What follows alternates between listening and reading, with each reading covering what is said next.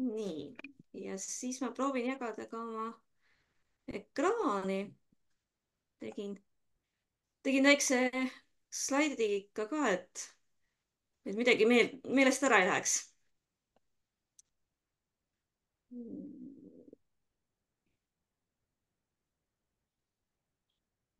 kas tuli ette? jaa. nii, nüüd on suuremalt. Et mina olen siis jah, Kristin ja minu bränd on siis Tomson Mandala maalid. ja, ja tänane teema on siis äh, mandalate põnev maailm. ma saatsin Annikale ka öö, äh, väikse värvitava mandala, mis ma teie jaoks tegin, saite selle ilusti kätte ja jagasin laiali. väga tore. nii, aga räägiks siis kõigepealt veidike iseendast.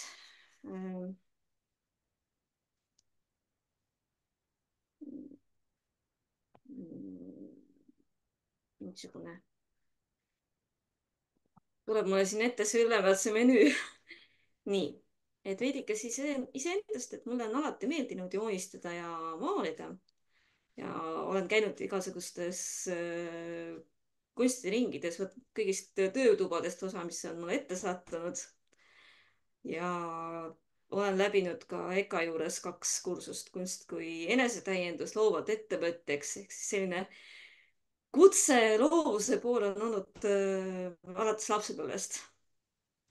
ja mõnes mõttes sai see märgiliseks, et kaks tuhat kaheksateist, kui ma olin taas eneseotsingute radadel äh, sattusin ma mm, siis äh, graafilise disaini kursustele, äh, mille käigus siis oli neli, neli moodulit oli, üks oli vektorgraafika, tasuta veebitööriistade kujundamine, Adobe InDesign ja Adobe Photoshop. Sest need oskused on täna tulnud mulle väga-väga suureks kasuks.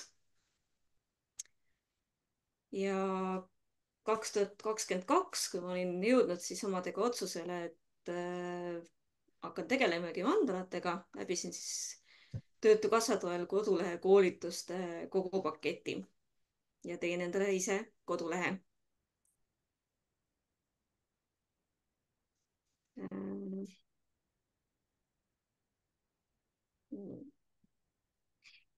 ja kuidas ma siis mandalateni jõudsin, et kõigepealt puutusingi kaks tuhat kaheksateist mandalatega esimest korda kokku, kui äh, sattus minu kätte selline huvitav värviraamat nagu Elujõu mandalad. Et kõik need äh, värvikombinatsioonid, need tekkisid nii kergelt, kohe oli nagu kogu pilt silmade ees.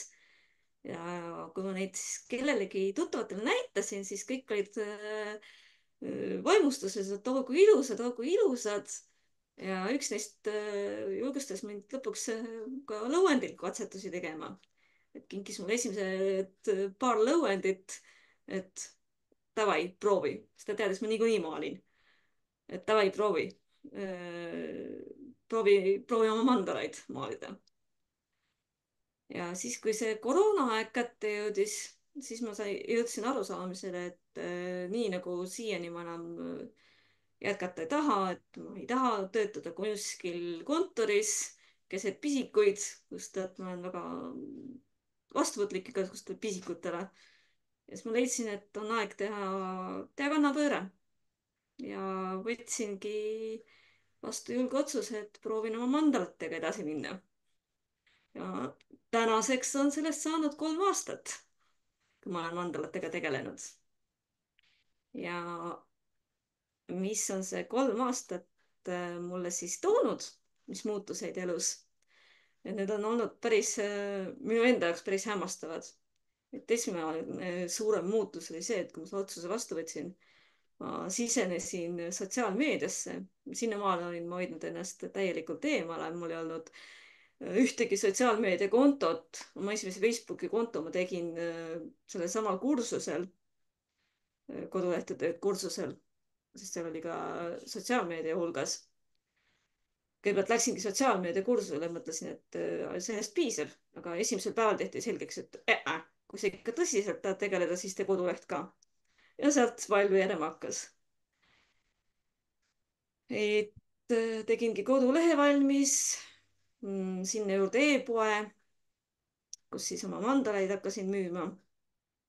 ja olen tegelikult teinud ka ühe eritellimusel mandala, äh, mis tuli mulle just Facebooki kaudu, see eritellimus. et äh, ja sellega jäädi, jäädi väga rahule. Oli, oli nagu kaotusvalu leevendamiseks see mandala loodud. ja mis oli teine väga suur samm minu jaoks, et ma oktoobris, eelmise aasta oktoobris otsustasin, et ma teen, panen ühe oma maali heategevuslikule oksjonile Loomapääste grupi toetuseks. see oksjon küll kukkus läbi. Aga kohe tekkiski mõte meil, et, et okei okay,, proovime detsembris uuesti. aga siis oli niimoodi, et ma mõtlesin, ma küsin nõu Eesti noortekunstnike grupi juhilt. et mis võis valesti minna et mida, mida võiks nagu teistmoodi teha. ja sealt äh, hakkas pall hoopis veerema, et ta ütles, et aga teeme suuremalt, võta minu töö ka oksjonile või küsi veel kelleltki töid. Ja lõpuks oli meil äh, seal päris äh, tore seltskond koos, et oksjoniga liitusid ka Naavi Trolla, Mart Sander, Hannes Õrno lisaks oli meil veel üks käsitööline, klaasikunst oli esindatud ja tulemusena saime peaaegu kakssada eurot äh, kokku. me lootsime küll rohkem, aga noh, me jäime, kuna see pall hakkas nii kiiresti veerema, siis ma ei jõudnud lihtsalt enne, enne tehtud, kui jõudsin vahetult enne jõule, et siis olid ilmselt juba kingid ostetud. et äh, see aasta on ka plaanis teha, juba vaikselt olengi hakanud asja ajama et äh, ilmselt tuleb ka, aga mitte nii hilja peale ei taha enam jätta. ja pidev uute toodetega turule tulemine, et äh, selle aasta mandala kalender.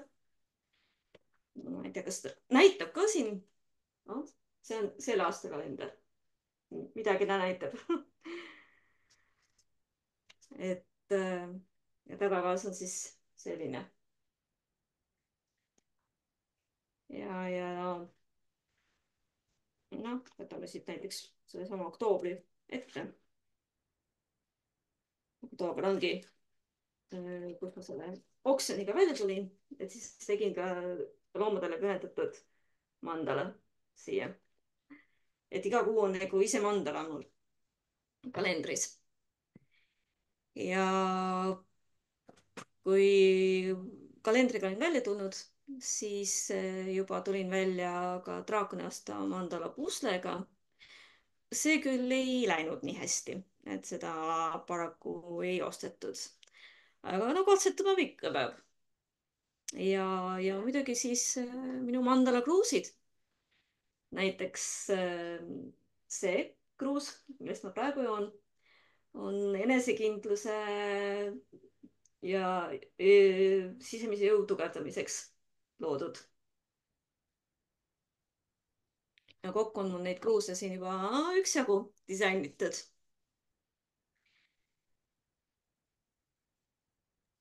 Kas sa teed neid kruuse nagu eritellimusel ka või? teen ka eritellimusel, et Mm, Mida? äh, just alles, ka seesama tegelikult oli eritellimuskruus.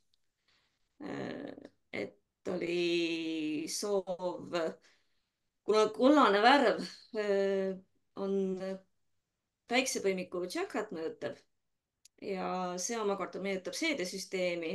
Et kuna oli soov, et kui kaaluprobleemid on, et mis toetaks kaalu langetamist ja kuna äh, kaalu mõjutab ka väga palju sellist enesehinnangut, et siis võtsin ka sellised enesehinnangut äh, toetavad sümbolid appi. siin on nüüd näited minu mandalatest mis ma siis maalinud olen. ja, ja mandalate juurde kirjutasin ka sellised toetavad afirmatsioonid.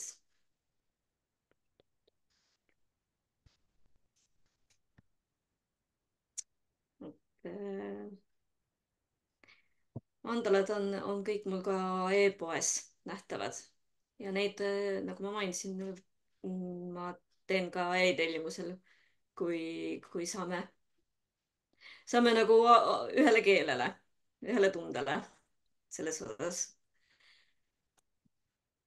Ja siin on nüüd äh, juba minu järgmise aasta mandalas äh, kalender ees. et need on nüüd kõik need mandalad, mis ma olen äh, sinna igaks kuuks disaininud. et jaanuar on, on selline, mis võtab nagu kogu aasta paneb oma, oma mõju. et kõik kaheteist, kaksteist kuldkala, kes siis on ühest küljest jõukuse sümbolid, toovad head õnne igaks kuuks ja ka soovide täitjad, nagu muinasjuttudest teada. ja et oleks aasta kaitstud, siis ka hobuseraud, neljaläigne ristikein, et oleks küllust, siis rahapuu ja et suhted oleksid harmoonilised, siis tuvipaar ja kroon Äh, tähistab siis äh, saavutusi ja võite, et oleks ka siis äh, isiklikke saavutusi. või, või kui kinkida kollektiivselt kollektiivile kellelegi, kolleegidele näiteks jõulukingiks, siis et, et nendel oleks saavutused paremad. Ja kellukesed toovad samuti mm, head õnne ja seostatakse ka positiivsete sündmustega noh, siin näiteks võib veel tuua välja, et, et äh, veebruar on armastuse sümbolitele väga palju rõhku pandud. siis on siin äh, märts on ärkamine, loodus ärkab, kõik ärkab. Äh, samamoodi jätkub see aprillis, kus tulevad juba õied siin on samamoodi ka, armastuse sümboleid hulgas, mis on, mis on nagu äh, olulised. mai, maikellukesed kindlasti kaitse ja armastuse sümbol kui öeldakse, et kui leiad maikuus neljalehelise ristikeina, et siis on terveks kuuks, terveks aastaks äh, rahamured murtud et jätke meelde. tasub, tasub otsida. no juuni on jaanipäeva teemal, jaanipäeva õnnesümbolid. juuli on, on viljakus, marjad ja, ja nendega seotud sümbolid. August on saagikoristusaeg, jällegi küllus, viljakus teemaks september on teadmiste kuu, et kõik sümbolid sümb, toetavad nagu teadmiste omandamist. Äh, oktoober jällegi loomadele pühendatud. november, valmistumine seekord siis talveks. Äh, viimased äh, nagu saa-, varude korjamine endale. ja detsember juba jõuluteema ilusad mandalad on, ma mainin kohe. aitäh. nii ja selline siis püstine kalender nagu eelmine aasta. et, et ülevalt keerata ja riputada siis seinale.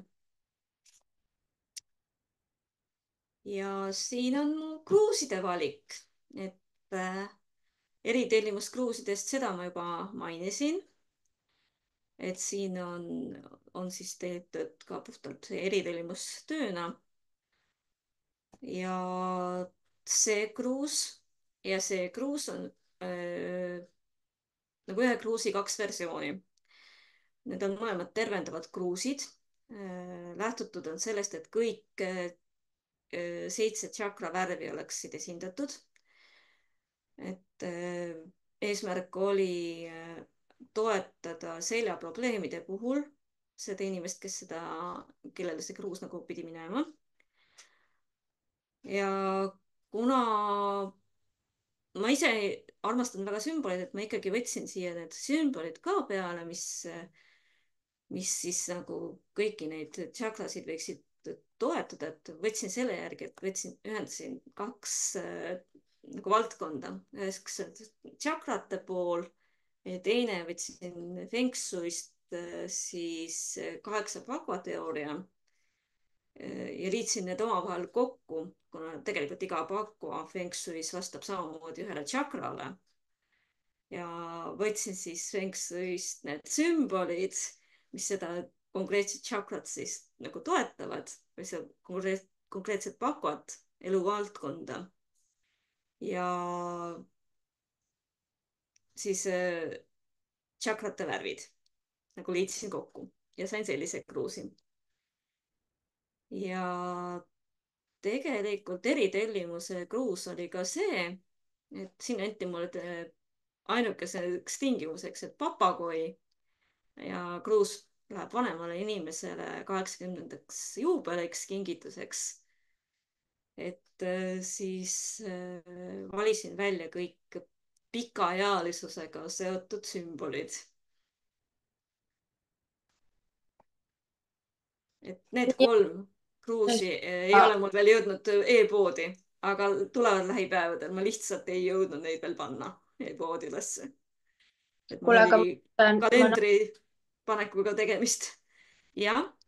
ma nüüd natuke segan sind, et äh, kuna me räägime siin täna ärist ja sellest kõigest, siis millised äh, kruusid neist, kas siin on ka midagi, mis on nagu ärinaisele või sellisele äri, äh, äri energiliselt toetav? toetavad, just Äh, needsamad kaks kruusi, mis on siis mul kas komplektina või ükshaaval võttes, on äh, külluse kruusid. Et seesama mm,. kas siin, kui, kui hästi see näha on, need sümbolid ei ole vist väga hästi näha.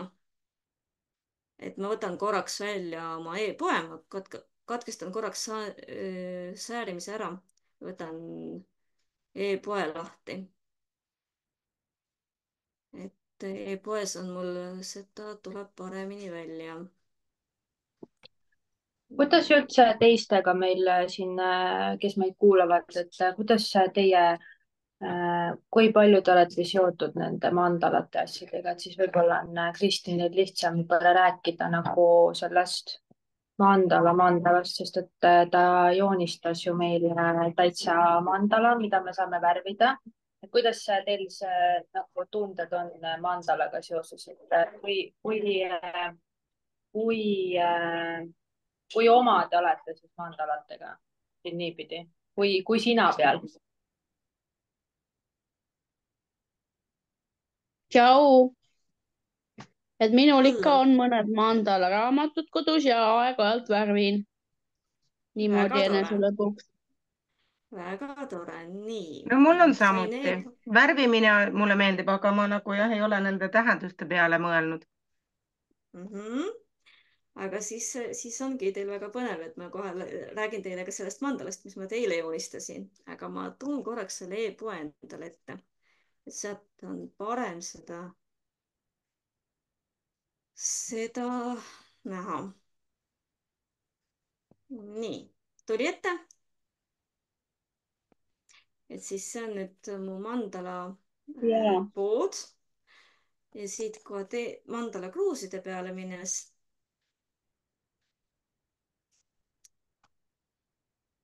Nii, siit tulevad ka need, no võtamegi siit mm. -hmm. see on see esimene kruus. see on see kruuside komplekt nüüd. vot, siin on kaks kruusi koos ja esimene kruus siis on äh, see esimene külluse kruus, mida ma tegin. neljaleheline ristikein toob äh, õnne.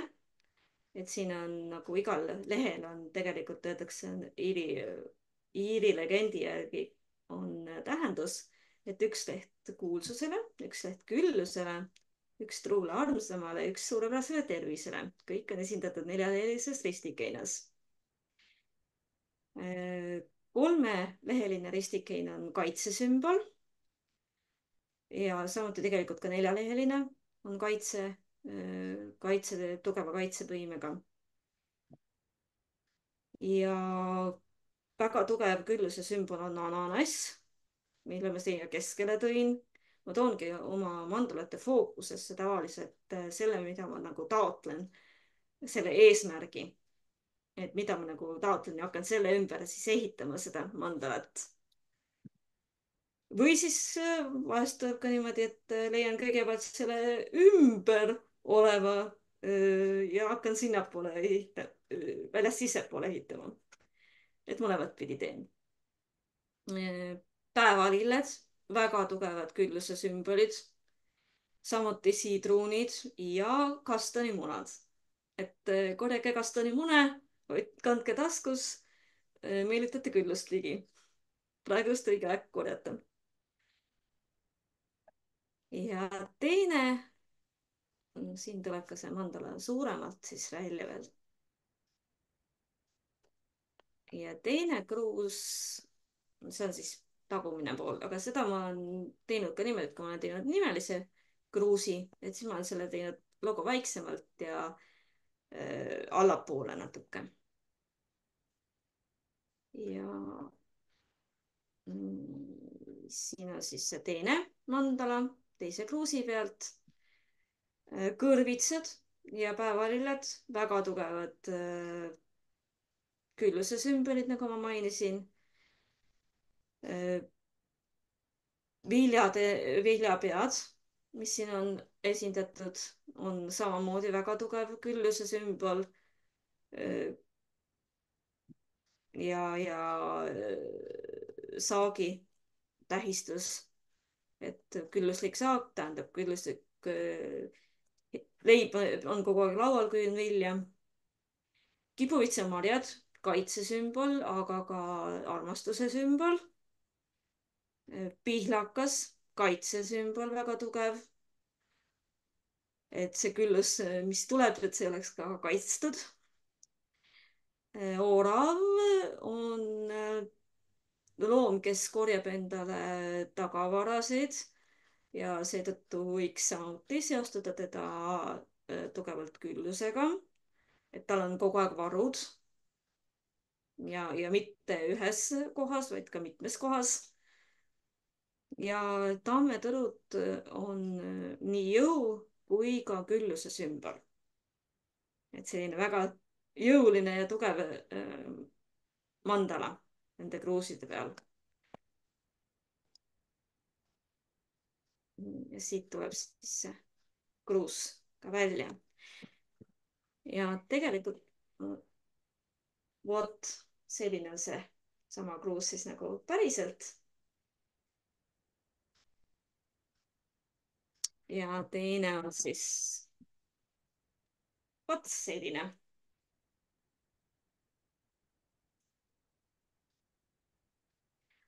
aga kindlasti tuleb neid küllusekruuse mul veel juurde. et äh, ka järgmise aasta kalendri motiivid äh, on juba pannud mõtted liikuma, kuidas, mis, mis juurde tuleb. nii, aga nüüd läheme siis katsume selle slaidishow uuesti ette võtta. tuli slaidikas ette ei tulnud mm? -mm. nii, siis ma lõpetan korraks jagamise ära, ta ei näita järelikult. nii.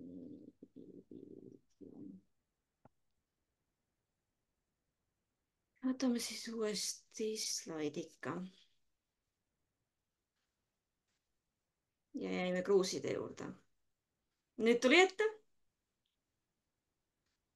nüüd tuli väga hea.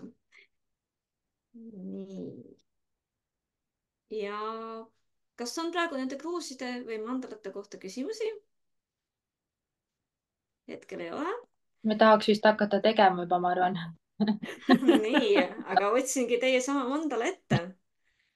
et äh, ma praegu võtsin siin selle koos, koos siis sümbolitega, tõin selle väiksemal kujul.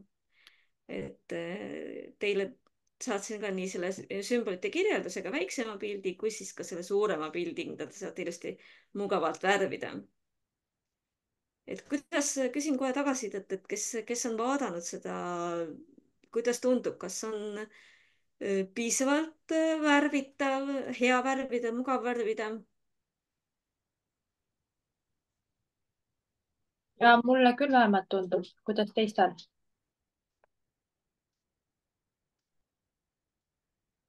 Ja on küll. väga hea. siis äh, äh, hakkakski vaikselt rääkima, et mida see mandala siis teile sümboliseerib ja miks ma tõin just sellised sümbolid välja. kruiisilaeva ei ole sellel vist kruiisilaeva ei ole, küll aga jah, on, on äh, lennuk ja on äh, saar meres, et no saarele peab kuidagi saama ka. et, et see, see meri ja see on nagu olemas ikkagi, esindatud. aga et kuna reisimine, et tegemist on reisiklubiga, siis ma võtsingi selle reisimise teema ja kuna reisimine on küllaltki kallis hobi, et siis, et meelitada ka rohkem seda finantspoolt juurde. ja mis on äh, tugevam siis nagu, tugev meelitaja, ma, nagu ma ütlesin, on viljapead. et väga tugev äh, külluse sümbol. Äh, keskele võtsin siis maailmakaardi sõnumiga, et reis ümber maailma. ja Äh, juurde siis kompass, et äh, teaksite, kuhu tahate minna nii äh, reisi mõttes kui ka isiklikus elus, et oleks see suund ja siht kogu aeg silmade ees. et kus ma olen ja kuhu ma minna tahan. lennuk, mis siis sümboliseeribki seda liikumisvabadust ja vabadust üldiselt, unistuste poole püüdlemist ja piiride ületamist ja miks mitte, mitte ainult siis reisi mõttes, vaid ka isiklikult. et äh, isiklik pidev kasv, äh, edasiliikumine. Äh, fotoaparaat mm, sümboliseerib siis mälestuste jäädvustamist, aja peatamist, et kõik kallid hetked jääksid mälestustena alles avatud raamat mm, tähistab siis äh, samamoodi mm, neid kogemusi, mis te sealt saate, äh, uute maade avastamist, äh, teadmisi nende maade kohta, aga ka laiemalt silmaringi aval-, avardamine kasvõi uutest maadest lugedes või, või uutest kultuuridest lugedes siis dokument ja rahakott.